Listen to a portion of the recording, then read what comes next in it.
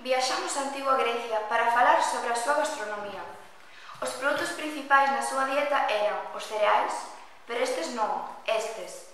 Tamén peixe, principalmente atún e salmón. Os produtos estrela eran o viño tinto, aceite de oliva e trigo, chamados triada.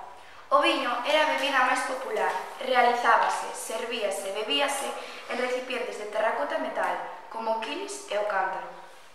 confería un sabor ácido e aumentaba a súa gradación entre 16 e 20 grados. Ao mesturalo con agua, temperábase o amargo e rebaixábase a súa forza.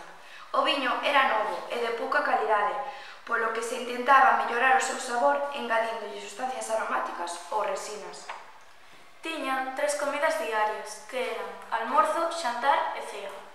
A cea era máis importante do día, e ás veces celebrábanse banquetes nas casas dos ricos.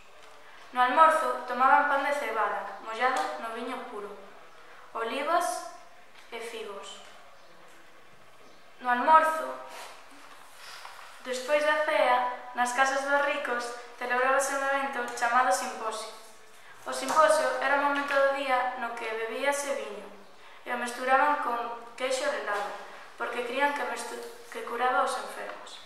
Ao non ter garfos, comían coas mans, pero a carne cortábana cun coitelo.